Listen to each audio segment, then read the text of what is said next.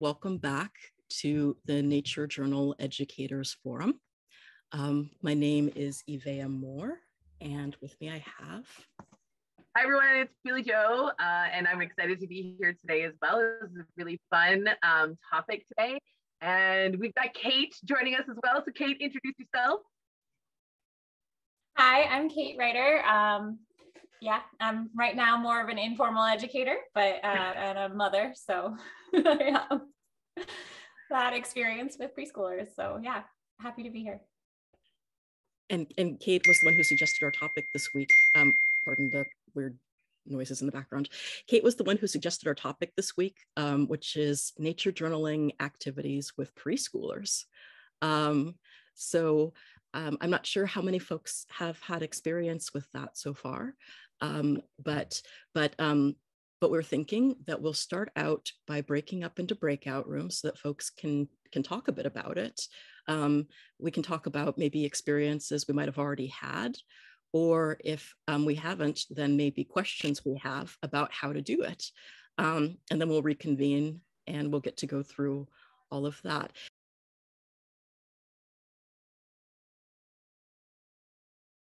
Um, so welcome back to our main room. Um, before we continue with our main discussion, I hope everybody had a wonderful um, conversation so far.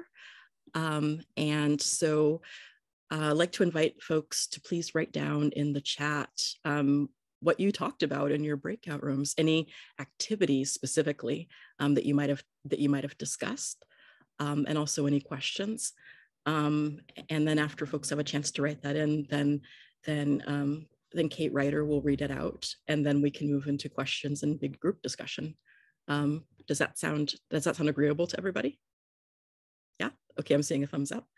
Excellent. So I'll just give folks a moment to type into the chat anything anything really good that you'd want to share in the big group. All right, we have using pictures in thought bubbles for it reminds me of um, using the first sounds of words or letters if they are not writing yet. I'd like to add too is just even doing little scribbles, like all the way down the page to kind of mime, you know, writing. Um, we talked about group journaling with the little ones since they can't write or draw much. Um, oh, that was, you know, we have one um, one journal that everybody shares. And so if people can write, they can write, um, but the, the leader can model just saying, oh, this is what we saw and this is what we not noticed. Um, scrapbooking leaves, either doing leaf rubbing or just taping uh, or pasting things in. Um, tricks to show distance. Oh, I'd like to hear more about that one. Um, using eyes to, or using eyes to point to what they are noticing how to integrate parents with the group if they are present was a question that I had. Um, um, I wonders out loud or have an adult write them down. Um, we also talked about, I didn't, this isn't in the chat, but we talked about um, scavenger hunts are always great. You know, I have a leaf like this. Can you go find one? Can go one, two, three, search is the one from is always a great one from from Jack is you know just send them off to go find something. Um, just practicing observing um, tracks in the ground and just different cycles and and finding things um, around. And yeah I think that's um oh getting them to move like animals and plants before they start to draw. Yeah using using large body movements to help describe um, and to imitate what they're noticing and what they're seeing. Um, yeah does anyone have anything else? And i'm noticing two things. So number one is is it Lindy? Lindy wrote something in the chat, which maybe we'll get her to share. And Deb in our group had a question um, in our group is that she was wondering, she's uh, teaching art to three-year-olds. There's just her and 20 students and she's, yeah, and she's finding like how to um, how does she sort of keep them on track because they're sort of running around and things like that. And so we discussed a few things in our group um, about, you know, moving like animals, having stations kind of set up to move through the stations. Um, Chris had um, an idea as well, and unfortunately my internet was out and I didn't quite hear everything Chris said, so maybe she could share as well. Um, and so maybe that could be one of our first questions. And then Lindy just had, by looks of it in the chat, had an experience, so maybe we can get Lindy to share after that. Does that sort of work for everybody? Yeah? So let's start off with sort of Deb's question. How do we wrangle 23 year olds for art class? Well, for the record, I exaggerated. It's 15, but a lot of days, but a lot of days I had both classes. So I had an extra person, but then it was 30. Yeah, that's so a lot it was never 20. Okay. Because this is being recorded. yeah.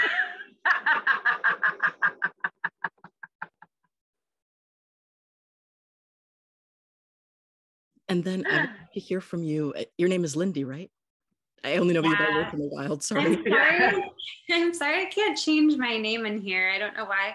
Um, but I am a former pre-K teacher, longtime pre-K teacher.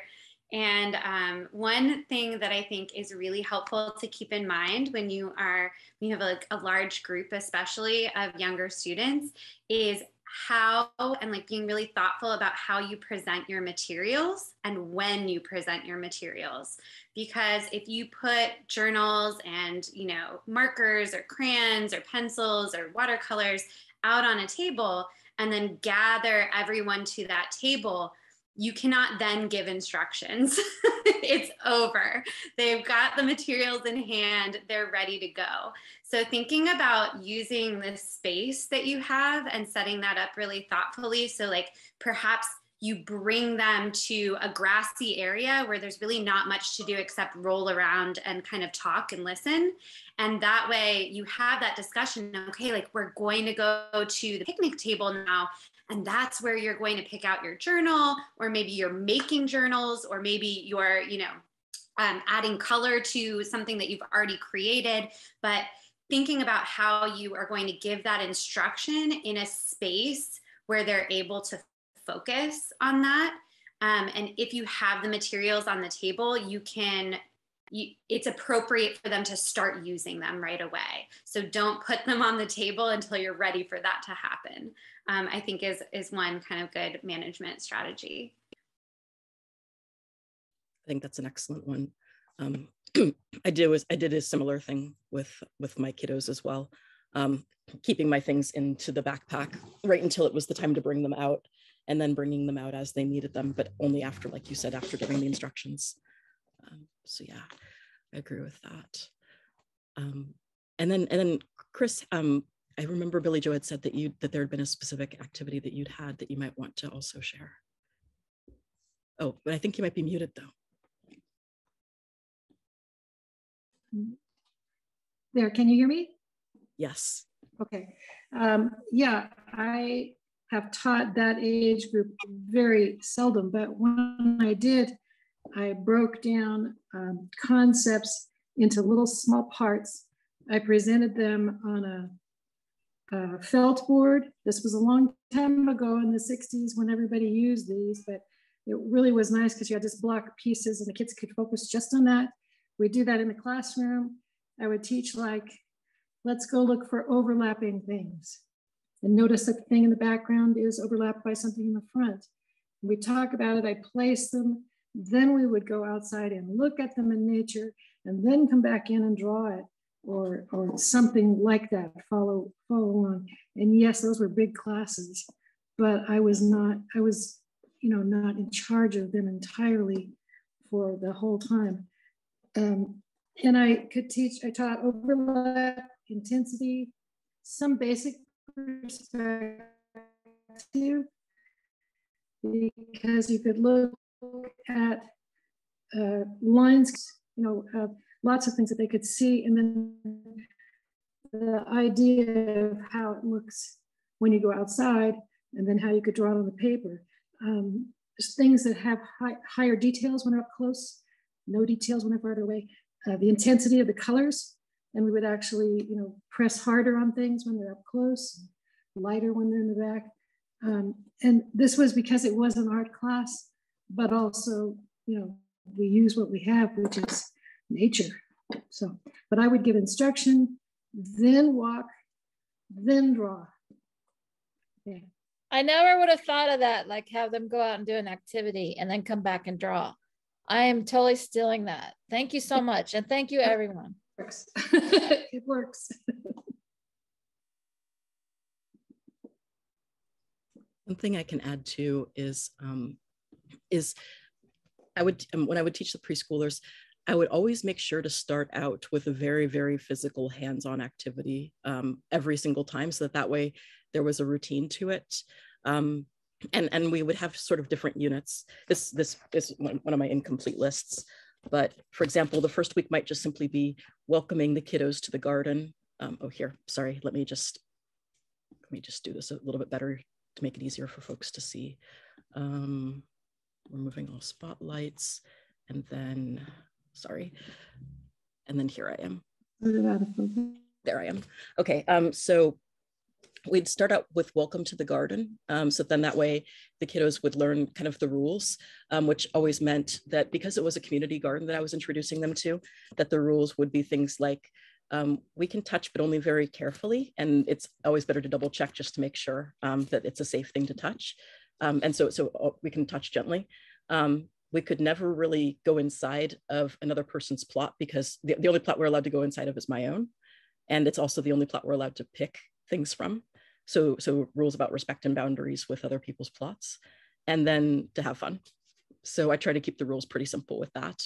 Um, and then we'd walk around and I'd ask the kiddos to, to talk, speak out loud and notice things that they that they thought were neat or that they had questions about. Or maybe if they were a really quiet group, I might show them a thing to try out. I might say, "Ooh, here, folks, feel this leaf right here," and maybe it'd be a yarrow, and I'd say, "What does this feel like to you?" And so that way they'd start getting practice using describing words. Um, and so and so then um, that might be the first thing would, would be a class with intro and then drawing and with when we would have drawing time, I'd have on hand each week a different book that I'll get it in a second um, with a different theme each one.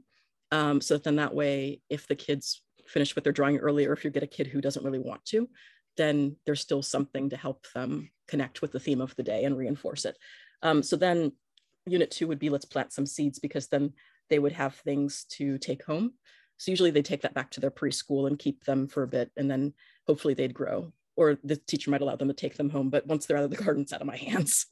um, then three would be a five senses lab. So I'd get some really safe um, herb leaves. In fact, if you're in my plant class today, a lot of things from Lamiaceae, that family. Um, so then people could rub and smell and and mm-hmm. use their describing words. Um, worm lab, because that can be kind of fun, have a spray bottle, spray it, and the kids can watch the worms kind of wiggle. And then a, a critter count, which is good if the kids are learning tally marks they can make tally marks and then they can draw really simple critters. And I would have come up with more, except that this particular year COVID cut in. So I couldn't, mm. those were a few um, things that we would do. And so by having an activity at the beginning and then a drawing at the end, even if they couldn't, even if they really weren't at the point of wanting to draw exactly what happened, then just doing that would get their hand-eye coordination and get them to start moving. It's get them to start associating being outdoors with nature and drawing it. So even just laying the groundwork without a specific outcome in mind can be really helpful. Um, and, just in my experience, limited experience that it is. Um, does anybody else have any activities or experiences that they'd want to share with their preschoolers or or do we want to go into some of our questions? Um,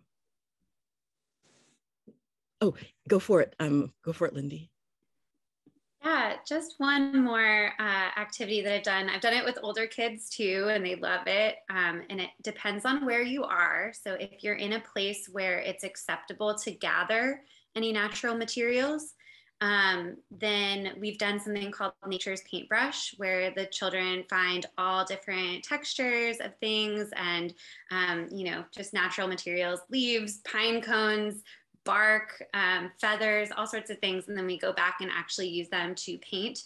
Um, and that really gets them talking a lot about different adjectives and describing words for like how um, those things feel and what kind of texture they make on the paper and making imprints. And so that's also a really like low touch way to make a beautiful nature journal page.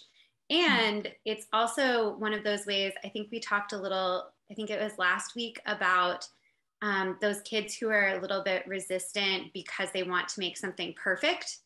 Um, when you're painting with bark, it's not going to look perfect. It's not going to look like any kind of thing. Like it's going to just be what it is. And so it can really like break them out of that kind of more rigid thinking about how they want something to look. And I find that like with my more hesitant kids or like my type A kids, once they get into it, like at first they're usually like, no, I don't want to paint with that. I just want a paintbrush. Um, and then once they get into it, they have a lot of fun. So um, that's an activity that I really like as well. I think that's an awesome activity um, to to kind of let go, like you said, of that perfectionism. Um, we also have a nature journaler in our um, in our community who does a similar thing. I, but I can't remember which one it is. I just remember learning it from Marley, who learned it from somebody else. That with even with adults out in the field, she'll bring kind of a bottle of ink, and then we'll collect sticks from the ground and draw. Um, so so works for all ages, I think. um, using the found items for nature, which is really fun. Oh, and I'm seeing a really good idea here. Leslie is putting in sidewalk chalk or chunky crayons on cut open brown paper bags work well also. Yep. Um, ooh, or Billie Jo is saying, I wonder if they could use lines to describe the way a bird flies or an insect walks or jumps. And then that's already right there getting into just even even just a little bit getting into this idea of diagrams and diagramming movement. Um, so that's another great technique uh, to use with with kids. Oh. Yeah, on a similar idea, I saw the idea of using um, chalk to trace the lines of um, ants, like where are the ants going? Um, and then I've also done um, charcoal or chalk on a page to trace shadows because uh, the shadows keep moving, you know, the second the wind blows or anything. Um, and so this, it's impossible to get the right thing, but kind of just being able to generally uh, capture the idea of a shadow. Um, and there's so many things you can do with found objects if you're not really focused on having a end product you can take home with you. You know, you can just cut up the leaves to practice scissor um, scissor use. You can um, or hole punch. You know, you can paint directly on leaves or bark. Um, we have the palm trees would fall and the big part, like the big bark part, we would have we'd draw on it with chalk or with paint, um, painting on rocks, you know, all those sort of different textural sort of things, um, or drawing in sand and drawing in dirt, um, making prints in sand and dirt. And then you can also bring clay um, with you out, like little like Play-Doh and sticking found objects inside of that, or um, making prints into the clay, or the, you know, all those sort of um, different using, yeah, oh yeah, using 3D mandalas or making faces or different designs um, with the different, you know, just stacking rocks, stacking twigs, all these sort of things. Paint with mud. Um, made a video about nature, nature paintbrushes. Yeah, any sort of land art can be really fun with the younger ones. And that's also because my question is about like when you have different age groups working, you know, that's like something you can have different age groups really working together on. And if you want it to be more art spaces, if you kind of um, come up with an idea and you go out looking for those specific materials to, to be able to create that idea. And then you can kind of trace the items onto a paper once you've placed them on there in some sort of design or to recreate it on another, um, another piece of paper. Um, those are all different ideas. Hey, how do you print with mud and print with sand? I didn't understand that. Oh yeah, so you can either with with mud. I mean, you can just honestly just smear it on the paper and see the different colors, especially if you have different pockets of mud that are a different color. Um, but you can also, um, if you take rocks or your bare feet, we, we tend to go barefoot or your hand, is um, just placing that, you know, just smoothing out a section and then placing your hand in it, um, placing your foot in it, placing rocks and and leaves in it. Um, with sand, it's really easy to um, smooth it out and draw in the sand um, with sticks and twigs. And again, with kids who are perfectionists or kids that are still at like large motor skills and aren't don't have that fine grip yet, um, that can be really nice activity. Just finger, just sticking your fingerprints in there, anything like that, just and creating creating lines and um, just kind of getting that sense of of things that I can do, you know, make this sort of change in the land. But you have to be thoughtful about where you're doing it, you know. And so, you know, you have to have a, a location that you you can do things like that. Um, one thing I really appreciate about the activities that you're mentioning is that is that they're they're tactile and interactive. And so then that way, instead of saying nature is something separate, kids are being taught to be in nature, really be in nature, um, instead of just observing it from afar. Um, and I think that that leads to a much richer experience. Like you said, as long as it's a place that's okay to to do that in. Um, so I think, yeah, I really like that particular um, aspect of what you're talking about. And oh, um, Billie Jo is saying that Bethan Burton has a really great blog about nature journaling with kids at all ages. Um, it's in the chat, and I'll make sure yeah, that. So she did it. Oh, go for it. Yeah. Yeah. So she, yeah. So last year, the, the nature journaling, the Wild Wonders Teachers Conference, she did like a um, like a full session on it, and it was awesome. And so she's break broken it down in terms of like where the kids are kind of at, like where to focus because with little kids like maybe the the eye eye notices i think or maybe no it reminds me of i think is maybe a concept that they're not quite sure how to make the connections or whatever. Anyway she does a great job about sort of breaking down like as older kids they really get into the questions more. And so really going like oh yeah i don't have to do all three every single time right? So maybe with the little kids we're focusing more on the you know the pictures and the numbers and the picture the drawing less on the words except for them being out loud. And then i'm going to go to more words as they get older and i'm going to take away some of that emphasis on the picture because that's when fear starts to come in. So she does a really great job and there's like a ton of activities that are under each of those sort of age groups. So i wanted to make sure i put that in the chat and give her a little shout out because it's pretty awesome. Awesome. So are there are there other um, activities that folks want to mention? Other ideas and inspirations? Um, if not to, um, we can also talk about either um, either logistics or concerns or questions folks might have. We could also talk about um, supplies that you might want to have on hand. If if there's any special supplies that you might want to have specifically with um, with preschoolers. So Deb just put into the chat a question, so maybe we'll do that one. Does anyone have to sell their program to principals? Anybody um, have that experience? Yeah, because uh, you get like evaluated, like, well, you need to have like an objective, and the kids need to say this, and how does poking fingers in the mud do this, blah, da, da, da, da. You know, I want to see end results. Um, I just did, um, I was part of this STEM symposium that, that has that sort of thing of you have to have this objective and then you have, you know, how, how, what are you going to be your methods for evaluating? And one of the topics that came up was this idea of um, sense of place as an objective. Um, I don't know if your school has um, things like that where you're like, it's a, it's a connection um, to you know where they are and how they exist in relation to you know i think with younger kids it's usually the it's like your neighborhood like your family. Um, and so um, talking about like oh you know i mean you're poking your fingers in the mud you're like learning about soil you're learning and if it's a arts class it's learning about color and comparing you know how does this brown look like compared to my brown of my crayon? Um, and um, you know it, it's it is hard because our it it depends on what your your objectives are.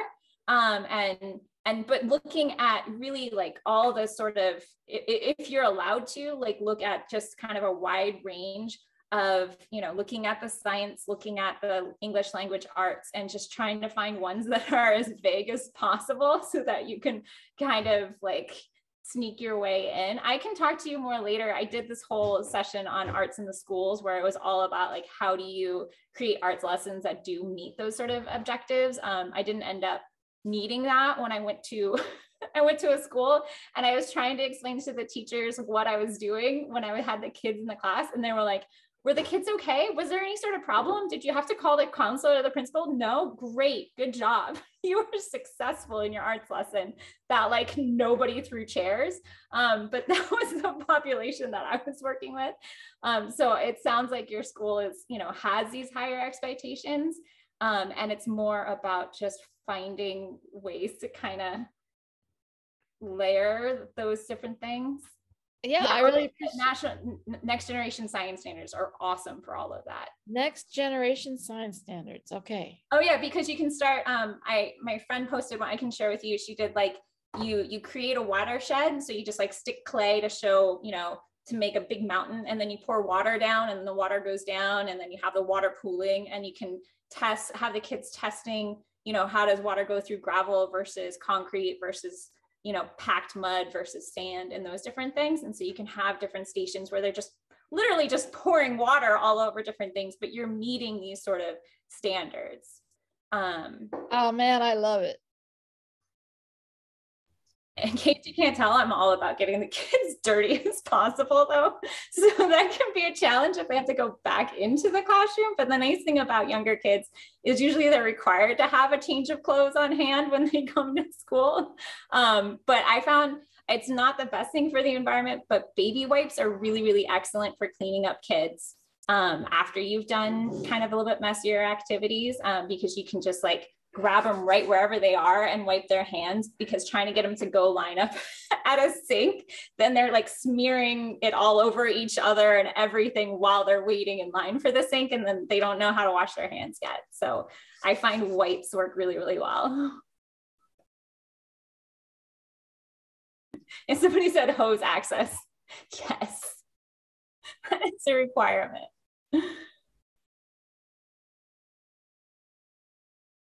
Actually that that um, that might be a good time. Speaking of of baby wipes and clothing changes, um, what other sorts of supplies um, do people try to keep on hand uh, for preschoolers for preschool aged um, crews?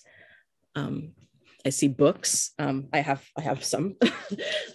these aren't all of them. These are just a few of the ones. So, for example, green was one that I'll read to them occasionally, which is a lovely book with all sorts of different kinds of greens.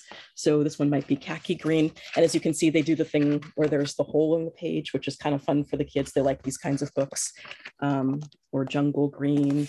And then, so then you can sort of see um, within each of them, just kind of the creative layouts, pea green. And so then it's a good way of sort of thinking about different shades of green and how we describe it. So that's a good one for describing words. it's one I sort of use as a filler in case I don't have a specific book for the theme of the week, or in case I read one book and then I need a backup book. It's always good to have more than one book.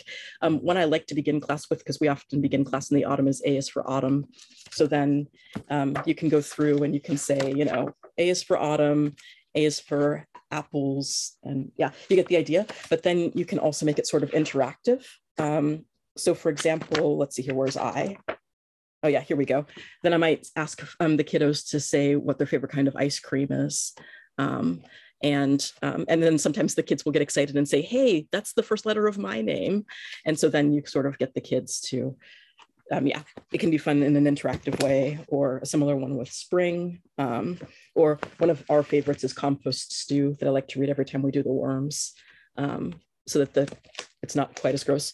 Plus, a fun thing about kids' books is that a lot of them will have really, really different art styles in each book.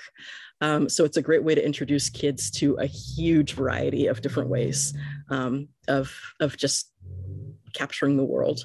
Um, so yeah, books wanted to also say that one. I'm seeing, I'm sorry, my chat did that. I'm seeing a bucket and rags that you can wash later. Yep. Um, Another one I like to do are just in case we don't have a place to sit down, I'll always bring clipboards. Um, and we um, at the time when I did this, we hadn't yet begun making a regular journal, although I think that making a regular journal is probably a great way to go. Um, but instead, Oh yeah, here it is. Instead, what I would do is because these are preschoolers, I would use instead kind of heavy duty paper um, that's a bit thicker. So that, that way it could take some drawing um, a bit more abuse, I guess you could say. Um, and so sometimes the kids, like I said, like you saw, sometimes the kids would have a bit more trouble um, drawing things. Although I found that tally marks really works well. If you're having them do tally marks, then they can get some really good data on the page. Um, but I'd have a bit thicker paper. I'd have either crayons or pencils. So some writing utensils are good on hand. Um, there's also these kinds of, um, one second. There's also really, really lightweight soft blankets. And so these can be good if the kids want to sit on the ground and you're worried about them being uncomfortable or things being a bit pokey, like if you're sitting on mulch and the mulch kind of is a bit sharp, then you can put down some some um, blankets for the kids to sit on, and they're nice and lightweight. So those are a few other ideas. Um, I'm also seeing, yeah, Leslie's got some really really good ideas in here about cardboard, large paper, brown paper bags, sidewalk chalk. Um, and then Billie Jo is saying sit-upons. What, what are some other ideas? And does anybody want to, um, what are some other supplies that you carry on hand? Oh, and of course, like probably a little first aid kit is good just in case you get kids who need a band-aid for something.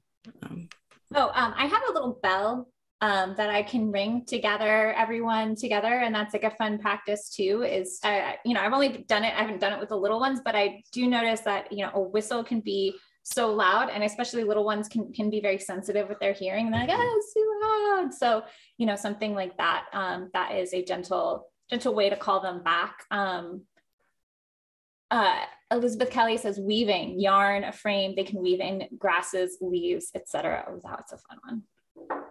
And then that you can also like sell it to your principal as group work. They all have to you know coordinate and plan and discuss you know you know and have kind of their own areas and how that all works.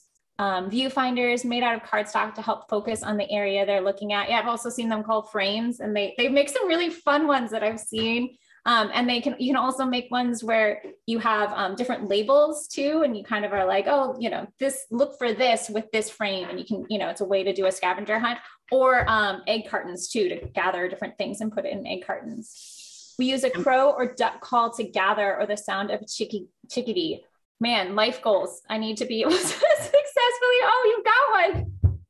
I love it. Um,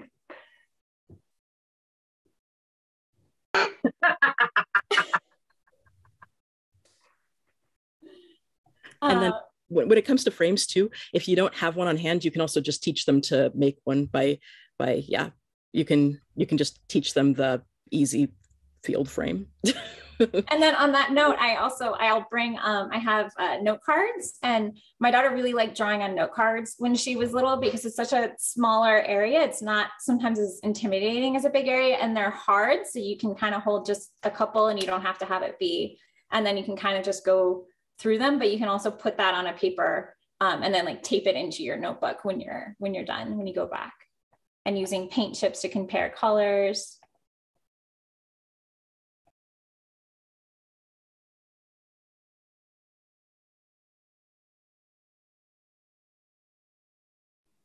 You can get the, the paint chips, like the strips of the different shades of colors. Um, and then um, you can like, it's not great, but you can laminate them. And then if it's raining or a little bit, they don't get all trashed.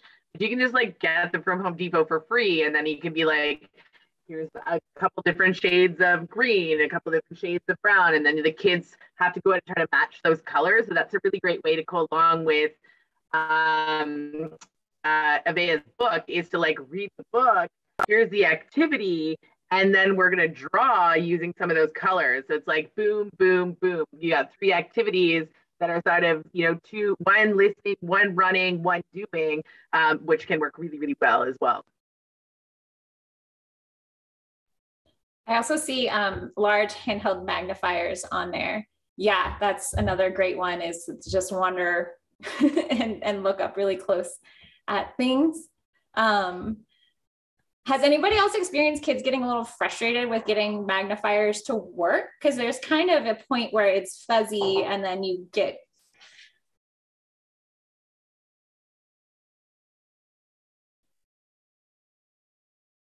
I think I had, um, had that. Yeah. Oh, I also have experienced that a little bit. And sometimes, like the really cheap magnifiers, they get really scratched up, especially if you're working with little ones. Um, yeah, they are easier than binoculars, though. Um, but I find that they just love like having them to hold, and you can't really help them getting scratched up when you have a bunch of kiddos. So there's not much to be done about that. We also make um, binoculars with um, paper towel rolls, half of the paper towel roll. So it just helps to focus. They just cover their eye and hold it up. And that just is, sometimes we call them focusers.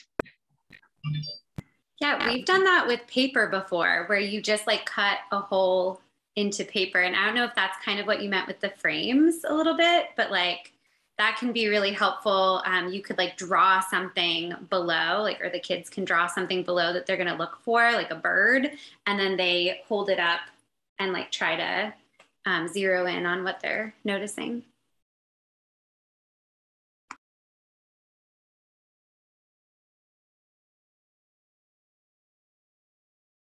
I think you might be muted, Billie Jo. Okay. Has anyone ever seen these books? There's a series of them. They're called Looking Closely. This is Looking Closely Through the Forest. And so when you open it up, hold on a second, it gives you like, here it is, the picture, right? And then it gives you some like looking closely, like, so what do you think it is? What could it be? And then when you flip it, you get the kids to like, this is what I think it is, you know, la la la. And then once they guess, they have to flip it over and they see that it's a bunch of leaves and then it gives you some information. So when you're talking about like zooming in, things like that, these ones here work really, really well to be like, what is it? And the kids come up with all these like really cool ideas. And sometimes you can get them to be like, what does it remind you of? And kind of come up with their own little hints and then to flip the page and go from that. So there's one for like the ocean and the pond, and I think there's like eight to ten different books in that series, um, and they're really fun uh, to sort of work with, especially if you're thinking like you know you want to get them to sort of draw in a different way, like maybe you're taking it to the next level, the next class or the next few classes or whatever. That's a really fun book. I wanted to tell everybody about. Who is it? Oh, it is. I'll put the title up there. There is the person right there, who is the author of the book, which is awesome. Right. Oh, thanks, Yvea. Does anyone have anything else or any other questions about things that they are sort of wondering? Look at us, nature journaling this whole thing. What are we wondering?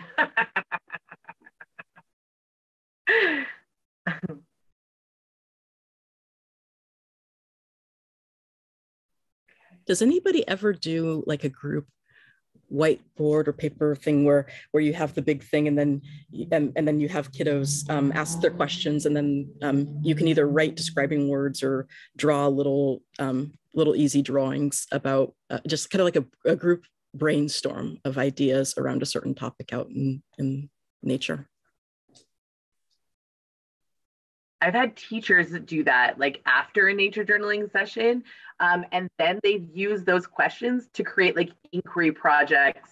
Because especially like, I'm not sure how um, kindergarten or preschool works in the States, but in Canada, they changed our curriculum completely. So it's not like they learn math, they learn language or anything like that. It's it's more about sort of uh, play based and there's sort of four overarching concepts that they kind of go for. So it's really like what the kids are interested in and the teacher can kind of go for that and then implement language and math sort of into that. But I know that some some of them have been like have questions like why is the sky blue and then they go out and they observe the sky and they do all these different things and then there's some inquiry into it and they start checking the temperatures and you know et cetera et cetera or like what are snails and why do snails do this? And then they sort of do an inquiry project. And so they sort of brain our, our mind map or sort of, you know, brainstorm all these different concepts as a group and then, you know, pull different pieces of that apart, which as a teacher or facilitator, that makes your job kind of easy because the kids kind of designed it. And now all you have to do is like facilitate it, which is pretty awesome. So those are a couple ideas too. that sounds like the Reggio. I, I don't know how to say it. Like the Reg, Reggio mentality. What is it? The um, Reggio Emilia. I'm saying that one terribly wrong. Um, but I yeah, there, there. Some people have it in the chat. Um, so this was a book that I had picked up from um, the library bookstore, and it is it's kind it's all about that, and it just has all these wonderful pictures with um, student questions. Um, and so they they are investigating shadows in this entire book, and it's you know they the, the students have questions of how can I um, you know what's happening and where does my shadow go? And um, you know and it has all these images. And this is a great thing to share too. Probably with a with if not that you have any chance to take photos um, but if you did happen to have a chance to take photos as um, a proof of learning because you can really tell that these students are like very carefully investigating and wondering um, about what's happening with shadows in this different in the book um, and they have a lot more emphasis on art. So they have, um, oh, and that was the thing too, is that having a um, themselves as characters in it. So not just this abstract, I'm drawing a plant or the cycles of a plant, but this is me holding a flower. This is me in it. And this was, so this book is full of all these images of these little of kids and them um, examining their own shadows um, and seeing what happens. But there was this whole section, it was really cute, where they mapped the shadow along the wall and they had the students come up with different ways of what do you think is going on here? And they said oh we got to keep the shadow from from leaving. And so they put tape around it to try to keep it from going. And oh no it escaped anyway. And just these really interesting um, ways of investigating um, that wouldn't aren't necessarily documented. I mean, some of them, you know, they have all the little kid drawings, but um, so that's one way of documenting, but it's also just that that student-led inquiry. Um, but yeah, so and that was so that was kind of my question is that when um, I have had parents, because for for me having I, I, have studied a little bit of child development when you know when my daughter was little, you know, whatever she drew is however she drew it. And if her person had 20 fingers, you know the person has 20 fingers and you don't worry about it. But i see a lot of parents and i see a lot of teachers and educators going oh no no no no. You you know people only how many fingers? You know and they really focus on that when the student is trying to draw like a little drawing of you know a little kid you know like oh i went swimming in the ocean and i loved it. And you know it's not what is the goal here of what you're trying to demonstrate um, or what the student is really interested in um, and I think what's nice about these is it's the, the this this kind of approach is that it's more this is what the student is studying and they're using these images to help describe or explain or or kind of work through a problem um, rather than the picture as the end goal um, which has just been like a whole journey for me to change my mindset as well um, Billie Jo says, uh, the goal I think at this age is fun and exploratory, being creative and using their imagination. Yeah, definitely. Oh, and I think that brings up another thing that I've noticed now that um, going through again, seeing younger kids is how much they love the pretend play and how much, you know, you're like, oh, we're going to go outside and we're going to do this. And then suddenly it's, oh, but here's my little, you know, here's these caves. Oh, let's talk about these caves and let's investigate these little holes in the rock. And why do you think they got there? And she's like, no, this is my kitchen. and I am making soup right now. like they're not holes in a rock. This is not a cave. This is not a natural phenomenon. This is my kitchen. And I'm using this right now as my kitchen. Um, sorry, I'm all over the place this morning. Um, but I just love this topic and it's really inspiring me to want to work with little ones again. I use a wonder tree in my classroom where students write their wonders down on leaves. Oh, that sounds beautiful. I want to go to your classroom so bad. Um, using the senses, which bird sings like this? A cardinal, a blackbird. Yes. Yeah, using all of those senses and and then finding a way to record it. Either you're doing it or they are, or yeah, some combination. Sounds. I wonder if they could try to recreate the bird sounds, like um, like Elizabeth is saying. Like, there's lots of really great apps, and you could, you know, sort of um, listen to it, and then can they recreate it? And then, like, if you're looking for like how to create curriculum into this, then get them to create their own bird song with the sounds that they've come up with and as a class create like some kind of chaotic like bird orchestra, right? And so now they're using like tempos and beats and you know all these different things based on these sounds that they've heard. And then, you know, can they go out you know what happens when we go out to the yard and we do our bird orchestra. Do any birds call back? Like it would be total chaos and the kindergarten would go crazy for it i think. That would be so fun. I think i'm gonna have to try it next time i have kindergartens next year. Well i'm thinking even like a storytelling and then you have the evil scarecrow Yes, or just get them to make up stories. Lindy was mentioning last week that she does a lot of fairy gardens with her kids. Like she creates these incredible communities um, with her fairy gardens. And like imagine Lindy if now you're adding birds into your fairy gardens and it was like this whole epic community. And then they were sort of drawing and sort of, you know, creating these like storyscapes or even like these sort of comics about what's happening in their sort of fairy world. Oh my gosh, like the end, like the possibilities would be endless of like what the imagination can sort of come up with in this land that you know you're already encouraging them to sort of create, right? And then you're adding these little like bits and pieces. Ooh, that would be so fun. This is also the age of pop-ups and kids love their pop-up books. So if they don't already see the magic, then you can put in, hey, so who wants to who wants to find all of the fairies hiding in the forest? And then you can get them to kind of go and enjoy some pop-ups with certain, yeah. And you can do this with like, there's bird ones that you can do, um, but it's a really wonderful book. Um, I mean, sorry, it's a really wonderful age to really enjoy the magic of pop-ups. Um, so just wanted to just remind people about about pop-ups because you mentioned um, fairies, fairies and berries. um, and then another thing I like about pop-ups is that pop-ups are made to be looked inside of. They're made to get closer. And so it's a good way of also reminding them to do the same thing with actual nature.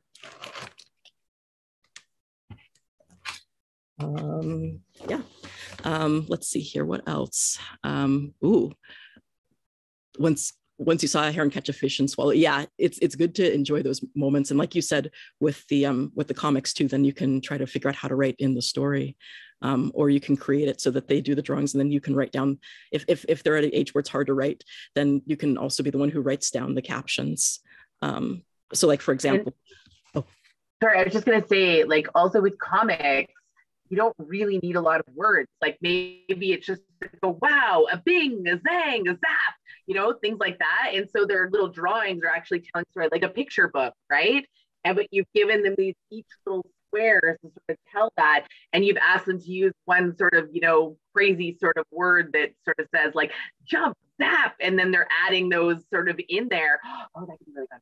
Yeah. Anyways, that's all and then also it's good if they don't already have a like even actually no i take that back. Whether it's you're doing this on loose paper or whether it's in their journal it's also good to make sure that the kids either have or that you help post the date um, because then that way you can see how they grow. So the kid might have done this um, and then you put down exactly what what if there was a lesson that day then you put down what the lesson was. Even if their their what they wrote had nothing to do exactly with the lesson then at least it kind of keeps it helps them keep track of, of what they were learning each time and how they were growing.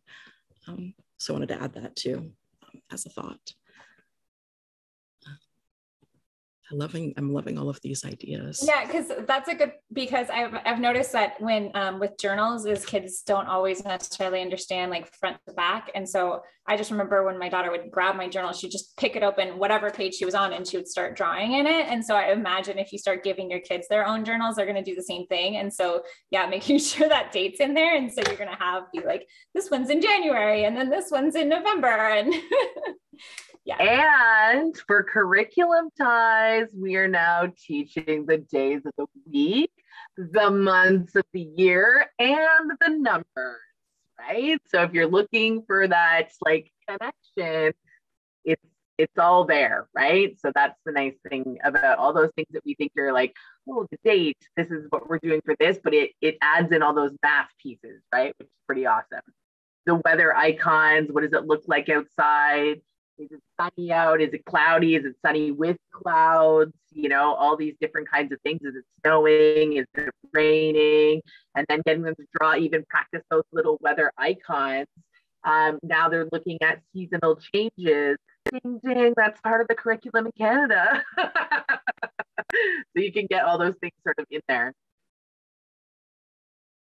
I've also been noticing that Lindy's been putting some really good ideas into the chat. Do you mind if I bring you in to share a couple of those, Lindy? That okay? Yeah, sure.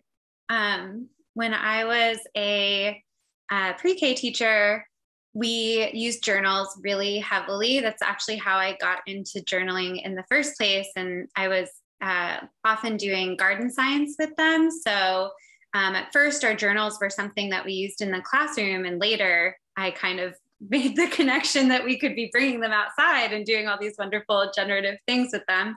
Um, but with journals, because they're young kids, one of the things that was a big time saver for myself and helpful for them, because you're right, they will just flip to any random page um, and start. But I wanted it to be kind of a record, and I used it for assessment purposes as well to look at, you know, their writing development and their letter formation over time and their character development and things like that. And so one of the things that we started doing at the beginning of the year was we would make bookmarks. And now in outdoor education, we make nature bookmarks as one of the first things that we do, and they write their name at the very top. And so they stick that, they can, I mean, it takes some practice and routine to do it, but they stick that on the page when they finish. And for me, as a classroom teacher, storing them, I stored all of the journals upright. So I actually could see the names at the top of their bookmark.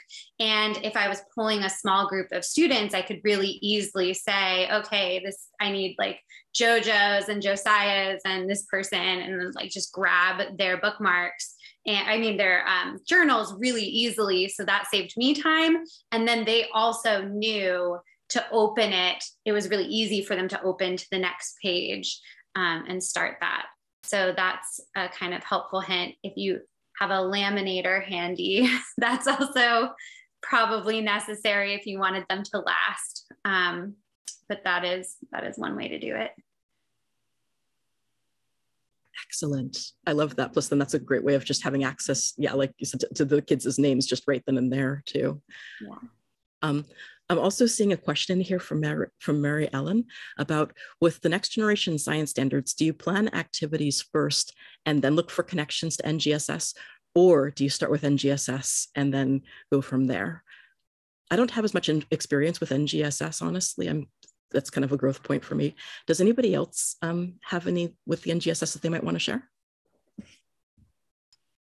Um, yeah, I have I have some experience with that. So I usually start with my activity um, because I find that NGSS especially and as well as like the core content standards, they're really they cover everything. they really do. So think about the activity that you want to do with students. So let's say it's um, sound mapping and then think about the actual skills that it takes to do sound mapping. So they're using their five senses, they're practicing some. Um, some identification of sounds. They might be using discussion later on to identify those things. They may be writing it or diagramming it. So think about all of those separate skills and then go into NGSS and give it a quick read. And you kind of look at those like overall, um, I think they have like the cross cutting concepts, but then they also have um, domains that are more specific. So look at the grade levels that you're working with and then any domains that kind of pull at you. So you might see like some five senses work and you say, okay, like it's probably in there. So then go in there, look at what they have written down and then try to um, grab the NGSS standards out of that. So I would go with your activity first. However, caveat to all of this, like don't do any of that work. That work is already done for you. So don't reinvent the wheel. If you look at like John Muir Law's like nature journaling for educator books and things, like he has core content standards and NGSS connections in there already laid out And it's very likely that an activity that you're doing is similar, at least in skill set, to one that's already in there, even if it's not the same exact activity. Um, and then also, I am trying to create like a little bit of a, a guide for educators as well, because I do some educator training. So I can, when that's done, like next year, I'll share it with this group. Um, but like there are educators who have done that work already and pulled out those standards to apply to a lot of the activities that we've been talking about. So I would just do a little digging before you go crazy, like trying to find each standard. Um, I would I would look at some of those resources first.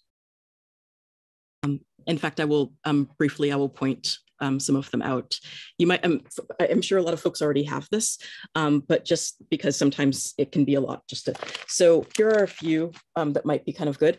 He includes in here the cross-cutting concepts um, in the book. So we have, you know, patterns, cause and effect, all of these, etc. Um, that would be page 90 of his book.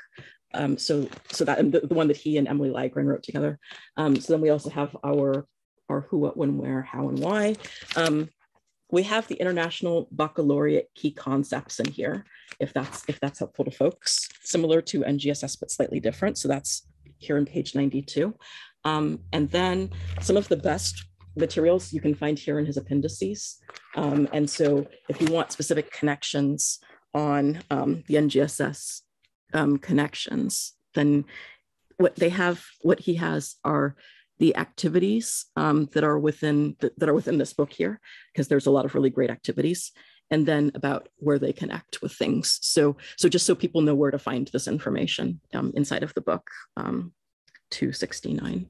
Um, also, um, we recently received a request in email that um, that I post up the NGSS video that we did previously in an educators forum because I've been remiss, and so that one will be posted up very soon as well. Um, so I'll make sure that that is um, is available to people soon because we have we have a workshop that we did in the past where we went really really in depth um, into it. So I'll try to get that one up as soon as I possibly can. Um, so oh, one more thing is like no matter what you're doing, it's going to align with some of the like practices of science that are named under NGSS. So make sure you just like check out that page real quick. I think there's like 15 or something like that, but you are going to be able to align. If you are observing questioning, you know, like connecting to science concepts, they 100% align with the practices of science um, standards um, under NGSS. So um, you're definitely hitting some of those. So definitely include those.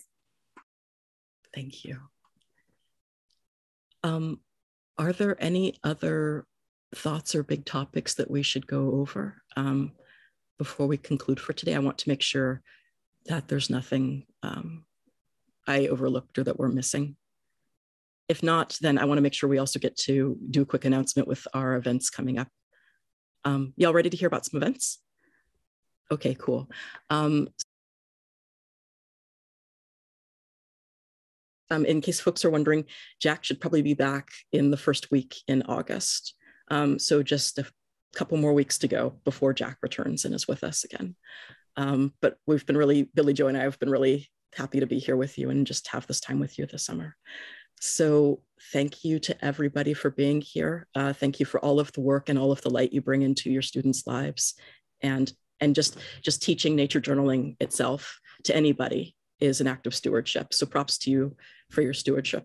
Um, thank you to Kate Ryder for helping us to, to lead today's um, topic and for giving us the topic and for, and for your youth program. Major props to you, Kate Chandler. I'm looking forward to your event on Sunday.